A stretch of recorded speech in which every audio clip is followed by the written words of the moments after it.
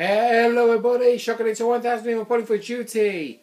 Welcome to a brand new Let's Play on a brand new series for the channel. it's a basically a short title as you can basically see on the screen right now with all the moving flowers and something. It's Pikmin. This game I wanted to play as a Let's Play on my channel literally three years ago, and I just never came around to doing it because I had other games being released that I just felt like, oh, I actually want to play that that more frequently. Because I had Pikmin 1 and 2 for the Nintendo Wii. Um, ever since I first heard about the game, um, long back in the year of 2016. And I was like thinking, when would be the perfect chance for me to do a proper Let's Play of this game? And I just could not think of it. But anyway, um, we're going to be going straight into a new game here. so,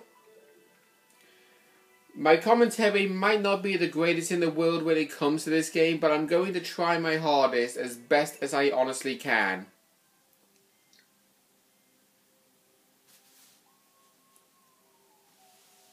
Doesn't really help the fact that you can actually see my uh, silhouette in the TV screen because of the light. Hang on. There you are, that's a bit better.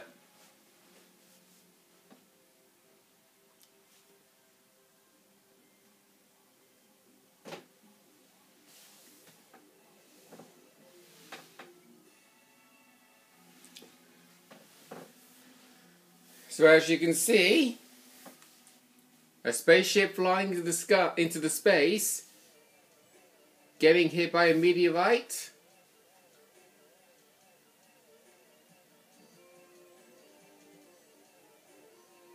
And crash lands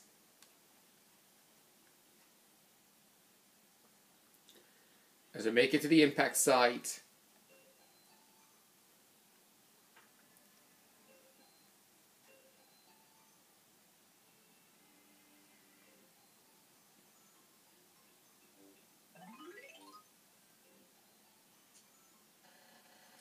My name is Captain Olimar. While traveling through space, my ship was struck by a meteor. I must have blacked out, and I awoke on the surface of a weird planet. With so many parts lost, the skeptical hull of my beloved dolphin is a painful sight. The engine is gone. I'm stranded. To make matters worse, my atmospheric sensors indicate the planet's environment contains high levels of poisonous oxygen.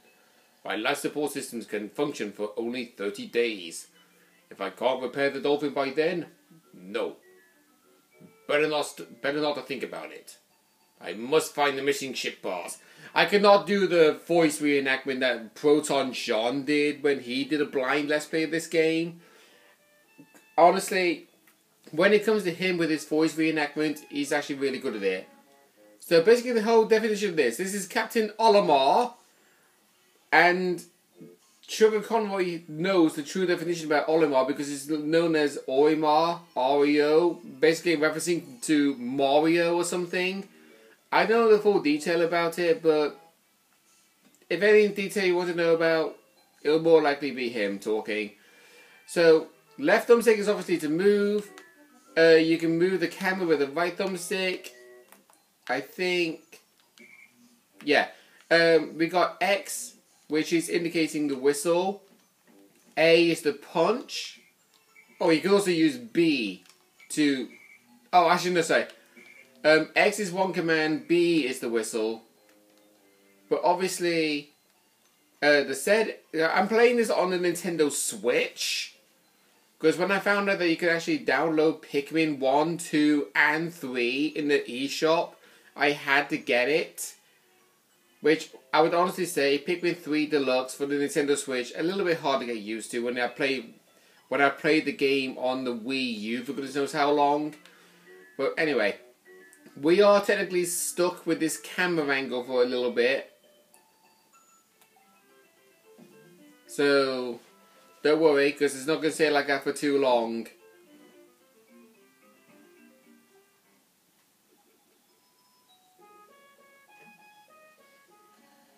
A strange thing had appeared before me. I had hardly begun my search when it reared up as if, if it was waiting for me. It then dropped a single seed. What is it? Is it alive? Is it a machine? It resembles a vegetable of my home planet that I call an onion. I shall call this an onion too. And now the camera has zoomed out. If you actually push down on the right thumbstick, you get an overhead view. Up, it will just lower it down to this angle. Um, oh, right. If you push ZR, you got zoom in, standard zoom, zoom out. The best camera angle for you to have is basically this angle, so that way you can basically see all around. Because if you're too far out like this, you can see things from a mile away, but it's kind of hard to, to aim your cursor around from where um, you want to do certain stuff. The reason, obviously, I would be picking this up a lot sooner, but the reason why I'm actually, you know, I might as well.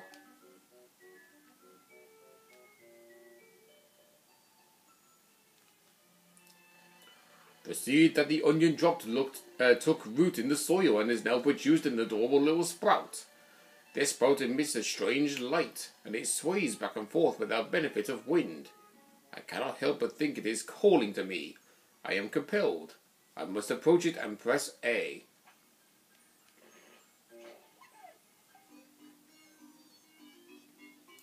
And there's the introduction of Pikmin.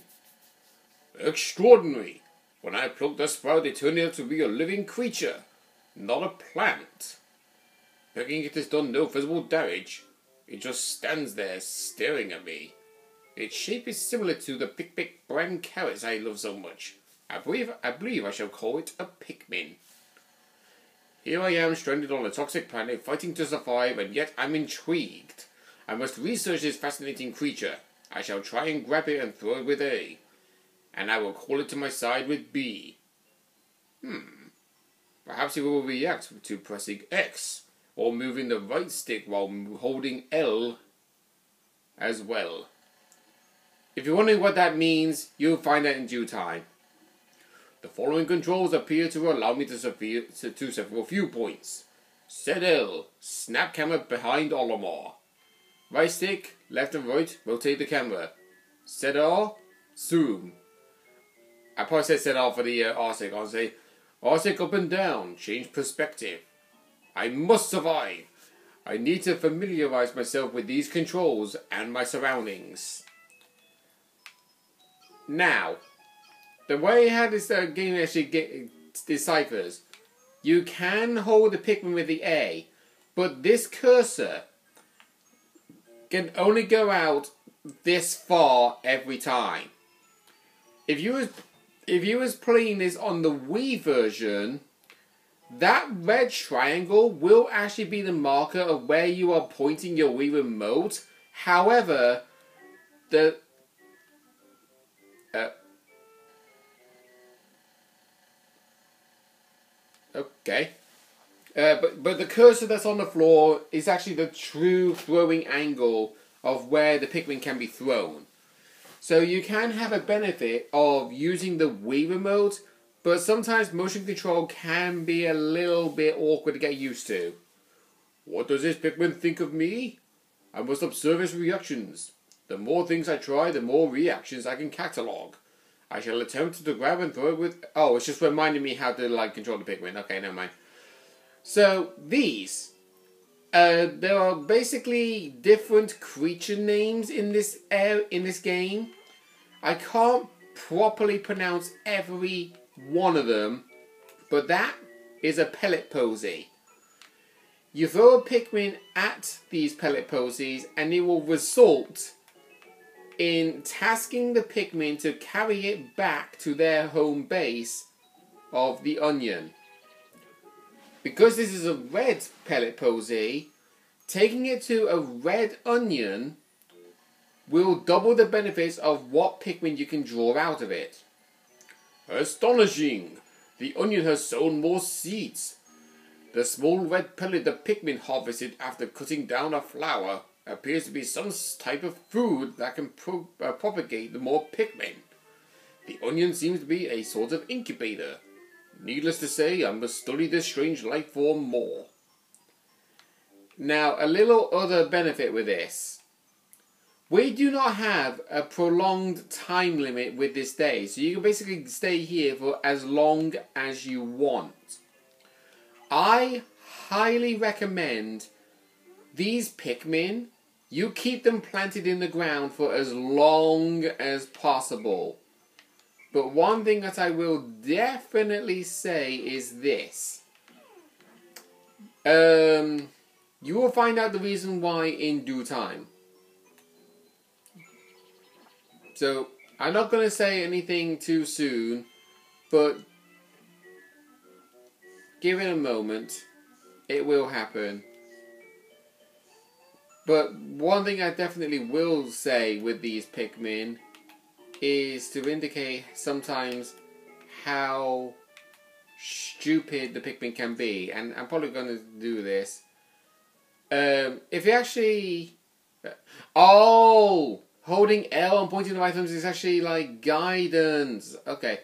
You can turn motion control on and off if you wish if you're playing on the Switch version, which I'm actually going to do. Because... Uh, actually, is it? Yeah, it's definitely on. Oh, there we go. Okay, I have to hold the A button. So if you if you want to do like motion control, you can basically do it with the Pro controller. However, if you want to like reset it, just let go of the A button. It will just automatically defaultly go straight back to where Olimar is facing in this exact distance. So see here, that's the farthest we can throw a Pikmin.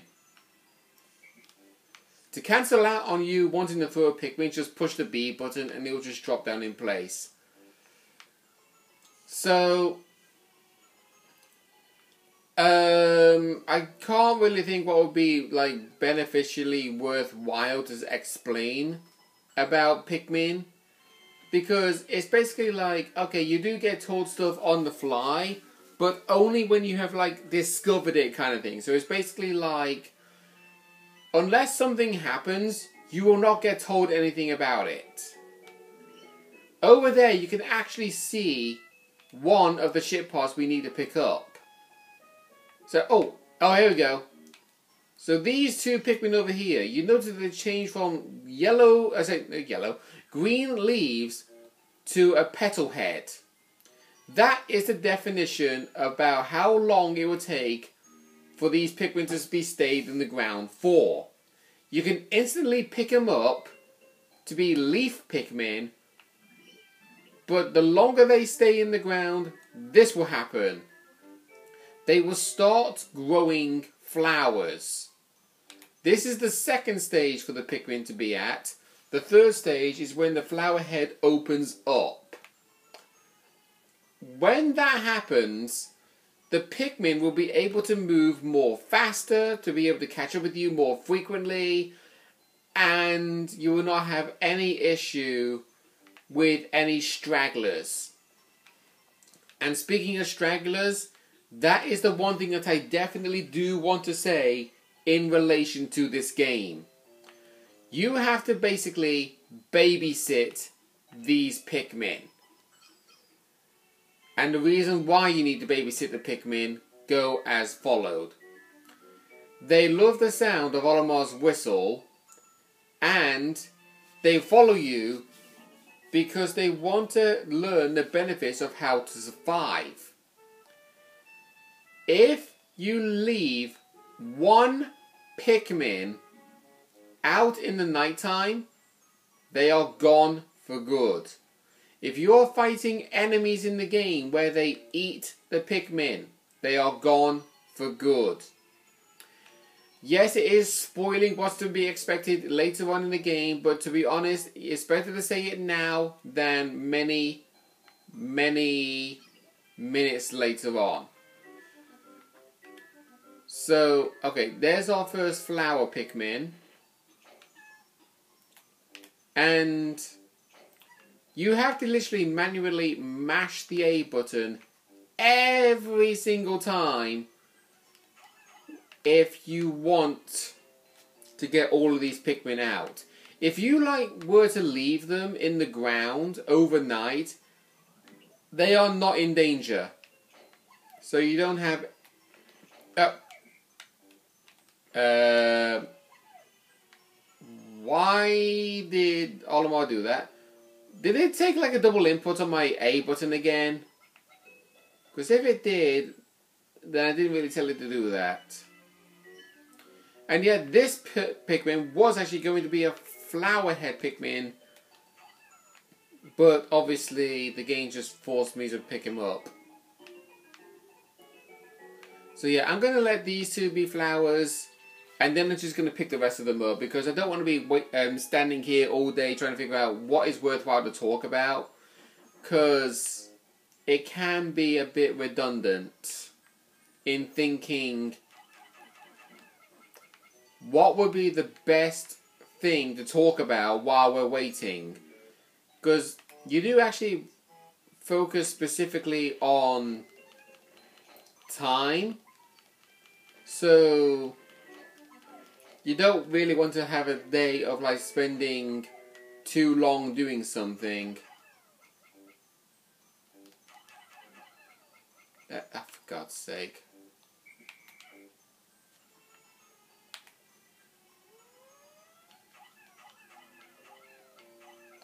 There we go.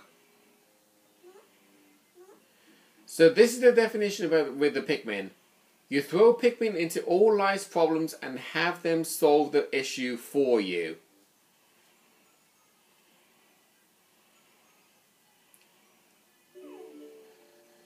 The Pikmin are curious as children. They form groups to perform tasks that would be impossible for an individual. A glimmer of hope has begun to shine in my heart if I can make use of their skills. Perhaps I can fix my ship. I shall sum up all I've learned of Pikmin conduct. Approach and hold A to pick sprouts. You basically have to mash A, honestly. Press A to grab Pikmin. Release the throw. Press B to call them. X to dismiss. Right thumbstick while holding um, the left but uh, it's the L button to command and control a group. Use L or up, down, left and right on the right stick to control perspective. I shall record this in my computer and access it with plus. So yeah, this is what the um, ZL and other stuff is.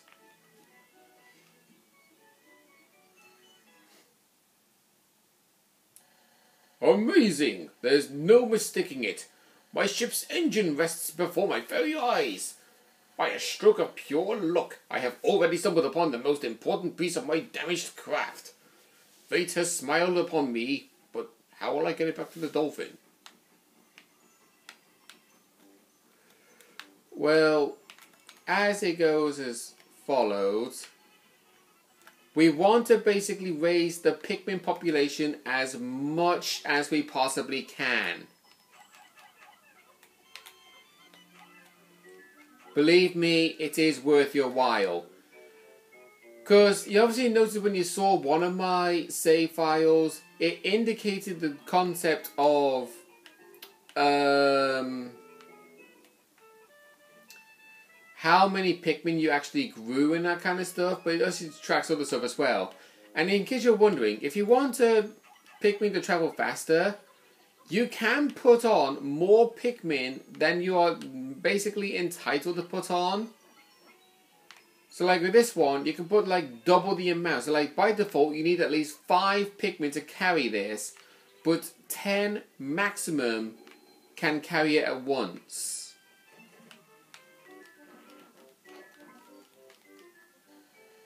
When many Pikmin seeds, seeds sprout at once, I find it rather tedious to pluck them from the ground individually.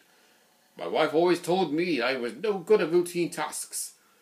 I guess I'll try to get it all done at once by holding A until I pick all the Pikmin from the ground.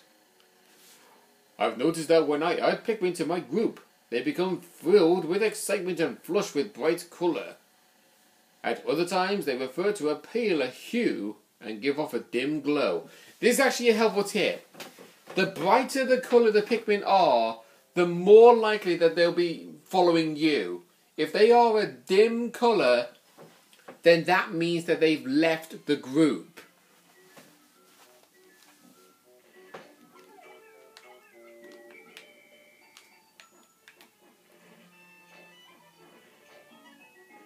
Oh, actually does uh, do it with holding A. Okay, so I was wrong about that.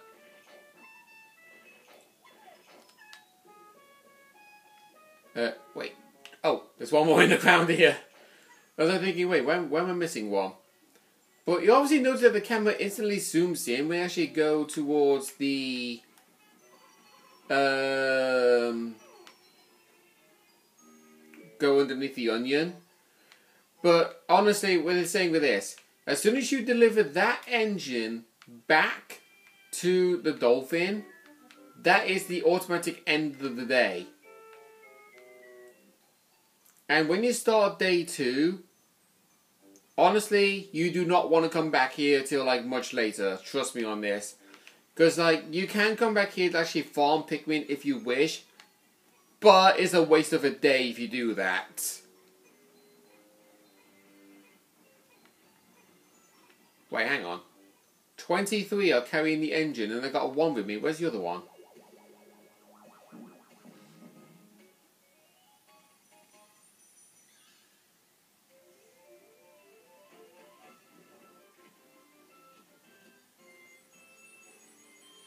So that's what the um, dim colour looks like of the Pikmin. Oh, glorious! With the help of these Pikmin, I've taken a huge step back towards home. My ship can once again lift off. The glimmer of hope is beginning to burn more brightly. But what has become of the remaining parts? That search starts tomorrow.